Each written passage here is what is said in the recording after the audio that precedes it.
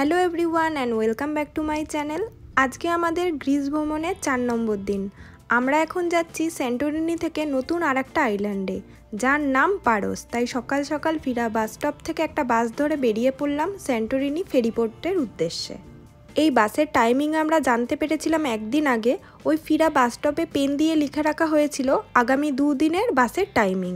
আর টিকিটের প্রাইস পড়েছিল এক একজনের আড়াই ইউরো করে। এই যে এই বাসটা করে আমরা আসলাম। এটা একটা পোর্ট এরিয়া কিন্তু পুরো পাহাড়ি। আমরা পুরো আধ ঘণ্টা আসলাম পাহাড়ি রাস্তা দিয়ে। হ্যাঁ ওই যে উপরের রাস্তাগুলো আঁকা বাঁকা মানে বুঝতেই পারছি না সমুদ্রে এসছি না পাহাড়ে। স্যান্টোরিনি আইল্যান্ডে তিন দিন থাকার পর আজকে আমরা যাচ্ছি নতুন আর একটা আইল্যান্ড পারসে। আর তার জন্য আজকে আমরা একটা হাই স্পিড ফেরি করে যাব। গ্রিসের পপুলার আইল্যান্ডগুলোতে যাতায়াতের জন্য নর্মালি দুভাবে যাওয়া যায়। একটা হচ্ছে এই ফেরি আর আরেকটা হচ্ছে ফ্লাইট আর আমাদের ফেরি দেখুন চলে এসছে। কি বিশাল ফেরিটা আর এর মধ্যে কিন্তু গাড়ি নিয়েও ওঠা যায়। মানে যারা গাড়ি নিয়ে আসে গ্রিস ঘুরতে, তারা কিন্তু একটা আইল্যান্ড থেকে আর একটা আইল্যান্ডে যখন যাবে, গাড়িটা নিয়েই এই ফেরির মধ্যে উঠে যেতে পারে। এখানে অনেক কোম্পানির ফেরি চলে। আজকে আমরা যেই ফেরি করে যাচ্ছি, তার নাম ফার্স্ট ফেরি। আমাদের এখানে? এরপরে ওই দিকটা কত জায়গা? সেন্টোরিনি থেকে পারস যেতে ফেরির টিকিট কস্ট পড়েছিল এক একজনের ফর্টি ওয়ান ইউরো করে মানে ভারতীয় টাকায় প্রায় সাঁত্রিশশো টাকা। আর এখান থেকে যেতে আমাদের সময় লাগবে এক ঘণ্টা পঞ্চাশ মিনিট। আর এই টিকিটটা আমরা ফার্স্ট পেরিসের যে ওয়েবসাইট আছে, সেখান থেকেই আগে থেকে কেটে রেখেছিলাম। ফেরির টাইম ছিল সকাল নটা পঞ্চাশে, তবে ফেরিটা আসতে দশ পনেরো মিনিট মতো লেট হয়ে গেছিল। তো চলুন এবার আপনাদের সবাইকে ফেরির ভিতরটাও ঘুরে দেখাই। এখানে নর্মালি তিন ধরনের টিকিট আছে। একটা হলো জেনারেল যেটা আমরা কেটেছি। সেকেন্ড আর একটা আছে জেনারেল উইথ টেবিল আর আছে ভিআইপি টিকিট এই ফেরিতে একটা ওপেন ডেক এরিয়া আছে, তবে ফেরিটা যখন চলে, জায়গাটা বন্ধ থাকে, যখন কোনো আইল্যান্ডে স্টপ দেয়, তখন গেটটা ওপেন করে।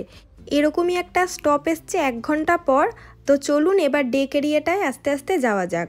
আর এই যে স্টপটা আসছে, এটাও একটা আইল্যান্ড এর নাম হলো ইয়স।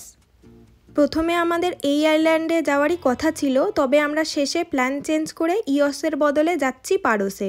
স্যান্টোরিনি থেকে ফেরি করে গেলে প্রথমে পড়বে ইয়স আইল্যান্ড, এটাই স্যান্টোরিনির কাছাকাছি একটা আইল্যান্ড, আর তারপর আরও কিছুটা জার্নি করার পর পড়বে পারস।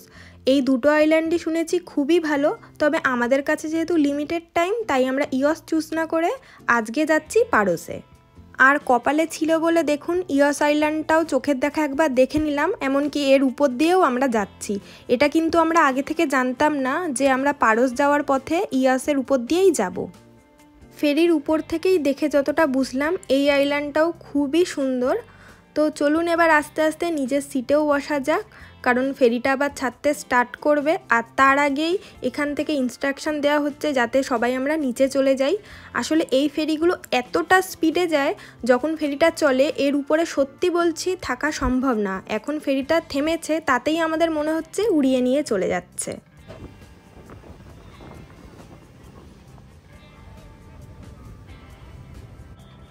আরও পঞ্চাশ মিনিট জার্নি করার পর এখন আমরা ফাইনালি পৌঁছে গেছি পারসে।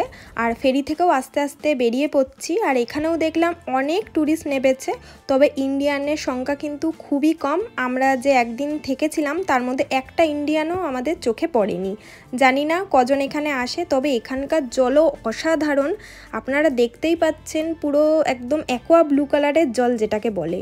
তো এখান থেকে মানে ফেরিঘাট থেকে পাঁচশো মিটার দূরেই আমাদের হোটেল। ওই পায়ে হেঁটে আমাদের যেতে সময় লেগেছে আট থেকে দশ মিনিট।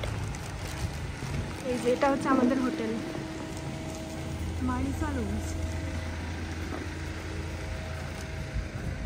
এন্ট্রি কোথা থেকে এই যে? কি কিউট দেখতে বাড়িগুলো। এই যে। এই হোটেলটা আমরা আগে থেকেই অনলাইন বুক করে রেখেছিলাম বুকিং ডট কম থেকে। নর্মালি আমরা যখন কোনো জায়গায় ঘুরতে যাই হোটেল কিন্তু আগে থেকেই বুক করে নেই। হোটেলটা খুবই ভালো ছিল এখানে বড় একটা ফ্রিজ দিয়েছে আর টুকটাক খাবার তৈরি করে খাওয়ার জন্য কফি মেকার স্যান্ডউইচ মেকার তো ছিলই তার সাথে এরা জলের বোতল তারপরে কিছু স্ন্যাক্স জুস এগুলোও দিয়ে রেখেছিল।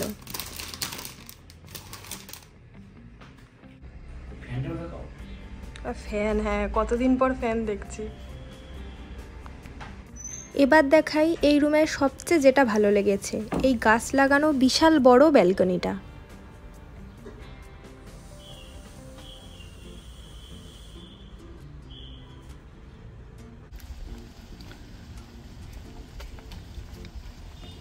আমরা হোটেলে এসে দশ পনেরো মিনিট রেস্ট নিয়ে এখন যাচ্ছি বিচে স্নান করতে। আর আমাদের হোটেল থেকে বিচটা একদম দেখা যাচ্ছে বাইরে আসলেই। আমরা এই আইল্যান্ডে মাত্র একটা রাত থাকব। তবুও কালকে আমাদের এই গ্রিসের সমুদ্রে স্নান করে এত ভালো লেগেছে, তাই আজকে আমাদের একদিনে এই আইল্যান্ডটা মোটামুটি ঘুরতে হবে সেটা জেনেও স্নান করার জন্য আজকে আমরা বেরিয়ে পড়েছি। কারণ হোটেল থেকে একদম হাঁটা পথে এমনকি সমুদ্রটা কিছুটা দেখাও যাচ্ছিল। আর যদি এখানে স্নান করতে না আসি, তাহলে কিন্তু অনেকটা মিস করে যাব। এটা ভেবেই আমরা রেস্ট না নিয়েই বেরিয়ে পড়েছি।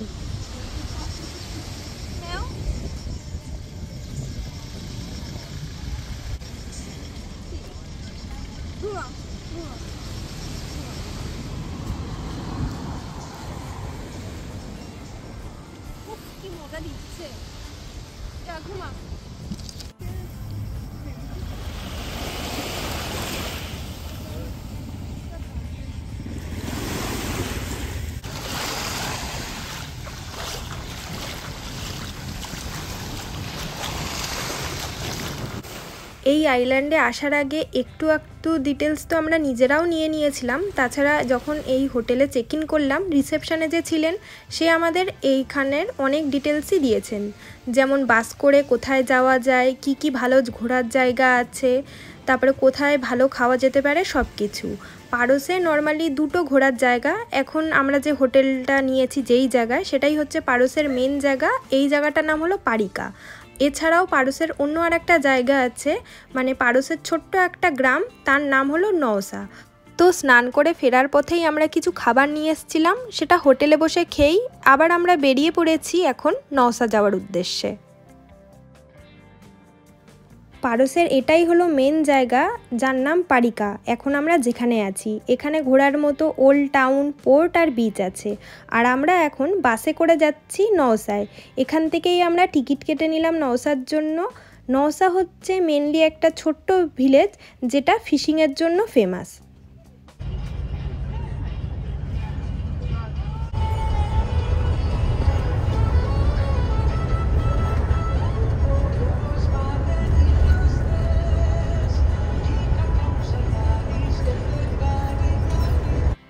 পৌঁছে গেছি আমরা নওসাতে, আর এই বাসে করে আসতে আমাদের ওই কুড়ি থেকে পঁচিশ মিনিট মতো সময় লাগল। আর বাসের ভাড়া নিল এক একজনের টু ইউরো মানে ভারতীয় টাকায় একশো আশি টাকা করে। গ্রিসের ম্যাক্সিমাম বাস ভাড়াই কিন্তু দুই থেকে তিন ইউরোর মধ্যেই হয়। তো চলুন এবার এই সুন্দর কিউট ছোট্ট ভিলেজটা আমরা ঘুরে দেখি।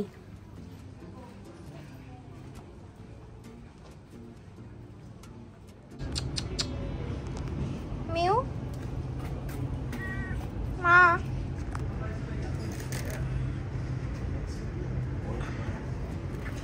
এটা যেহেতু একটা ফিশিং ভিলেজ, তাই এখানে প্রচুর বিড়াল আছে। আর সাথে দেখতে পাচ্ছেন কীরকম সরু সরু গলি, দূর থেকে তো বোঝারই উপায় নেই যে এখানে একটা রাস্তাও আছে।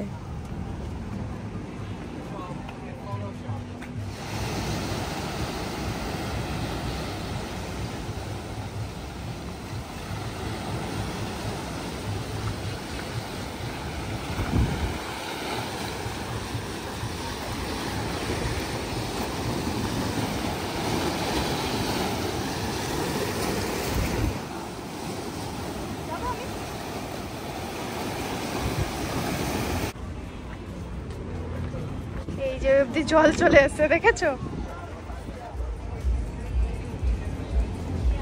এই পিঙ্ক কালারের দরজা দেওয়া বাড়িটা হলো একটা ক্যাফে আর তার সাথে ফটো তোলার একটা খুব ফেমাস স্পট আপনারা যদি পারস দিয়ে কোনো ইনস্টাগ্রামে সার্চ করেন, তাহলে এই জায়গাকার ফটো হয়তো আসবেই। আর এখানকার সমুদ্র এতটা উত্তাল, যেটা আমরা স্নান করার সময় কিন্তু বুঝিনি। মানে পারিকার সমুদ্রটা অনেকটা শান্ত ছিল, আর নসায় এসে দেখছি সমুদ্র ততটাই উত্তাল।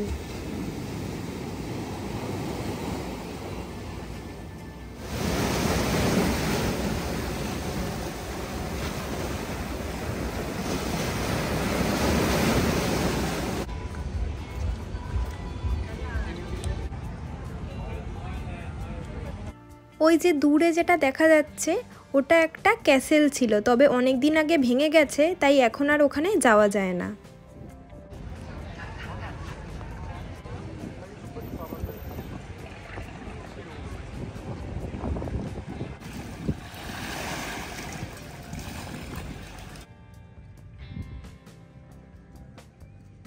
পারস জায়গাটা তো আমার ভীষণ ভালো লেগেছে, বিশেষ করে এই নওসা ভিলেজটা।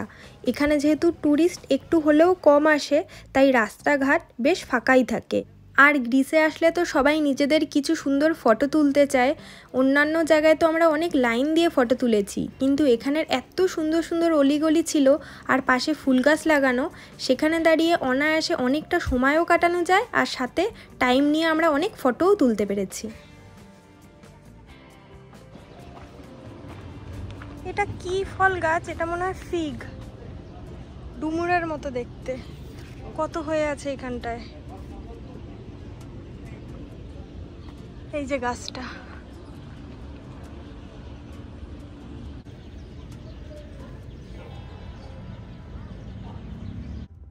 নওসা ভিলেজ ঘোরার পর এখন আমরা আবার বাস ধরে চলে যাচ্ছি পারিকাতে। আর আসার সময়ে আমরা আপ ডাউনের টিকিট কেটে নিয়েছিলাম বাসের। পারিকাতে আবার পারফেক্ট সময় চলে এসেছি। আর এখান থেকে সানসেটটা খুব সুন্দর দেখা যায়। এবার আমরা এখান থেকে সানসেট এনজয় করব।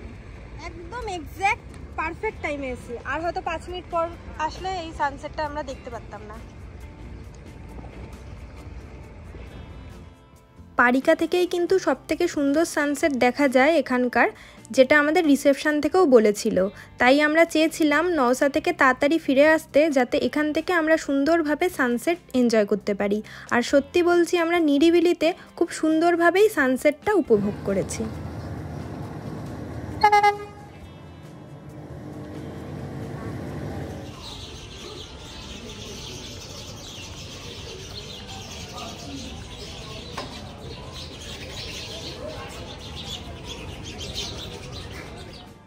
এখন এখানকার মার্কেট এরিয়াটা একটু সুন্দরভাবে ঘুরে দেখব আর তারপর এখানের একটা চার্চও ঘুরবো। আর এই গাছটা দেখতে পাচ্ছেন? কি অপূর্ব সুন্দরভাবে কাটা।